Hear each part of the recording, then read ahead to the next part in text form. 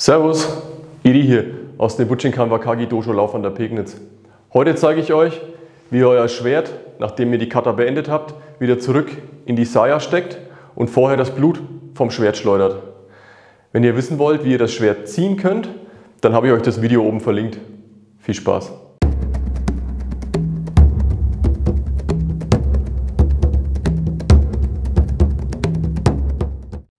Also, ich zeige euch jetzt ein paar Möglichkeiten, wie ihr euer Schwert wieder in die Saya steckt und das Blut vom Schwert schleudern könnt. Das nennt sich auf Japanisch Noto, also das Wegstecken des Schwerts ist Noto und das Abschleudern des Blutes nennt sich Chiburi.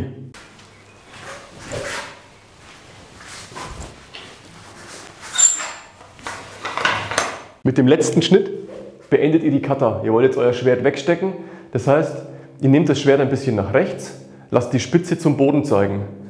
Jetzt macht ihr einen Schrittwechsel, sodass das rechte Bein hinten ist und ihr Platz habt, um das Blut oder den Schmutz Richtung Boden abzuschütteln.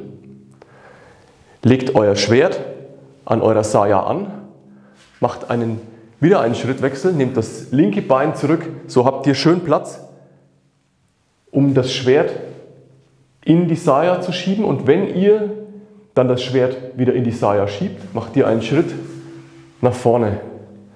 Ne? Schaut, dass euer Schwert schön sitzt und dann seid ihr fertig mit eurer Kata.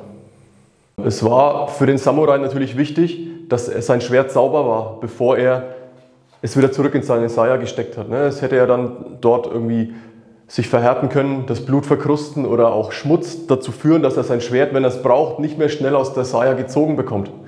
Das war der eine Grund, warum er es sauber gemacht hat.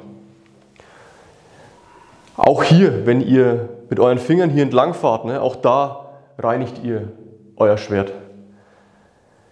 Es gibt aber noch einen anderen Grund, warum der Krieger damals in Japan sein Schwert geschüttelt hat. Ich war bei Somea Sensei in Japan und Somea hat gesagt, dass es auch der Grund ist, dass der Samurai getestet hat oder der Krieger getestet hat, ob sein Schwert noch intakt ist.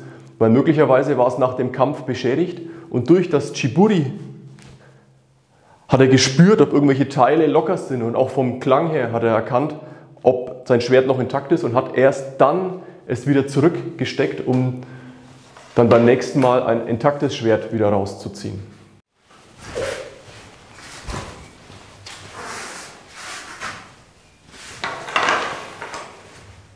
Die zweite Variante, die ich euch zeige, ähnelt der ersten. Ihr habt euer Schwert gezogen, beendet die Kata mit dem Schnitt.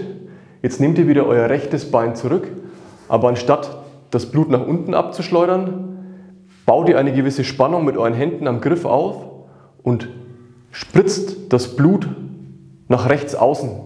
Dabei bleibt euer Schwert relativ parallel zum Boden und das Wegstecken eures Schwerts ist identisch mit der ersten Variante. Also ihr nehmt wieder euer Bein zurück.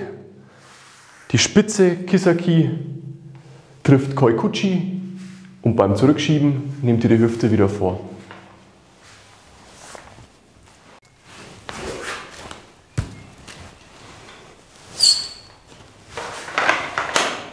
Die nächste Variante, die ich euch zeige, ist ein bisschen komplizierter. Also ihr macht euren Schnitt und dreht euer Schwert jetzt in eurer Hand um 360 Grad.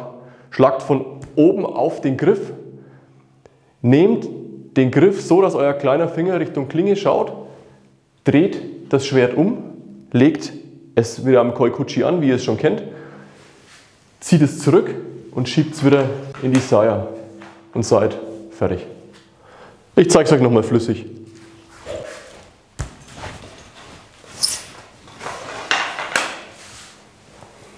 Das waren drei Möglichkeiten, wie ihr euer Schwert ähm, wieder zurück in die Saya stecken könnt. Leider kenne ich die Namen dieser verschiedenen Techniken nicht. Wenn ihr die Namen kennt, schreibt es mir bitte in die Kommentare. Oder wenn ihr Fragen habt, schreibt es mir auch in die Kommentare. Und wenn das Video euch gefallen hat, dann freue ich mich über einen Daumen nach oben und wenn ihr meinen Ab Kanal abonniert. Ansonsten sehen wir uns nächstes Mal. Bis dahin, euer Edi. Ciao.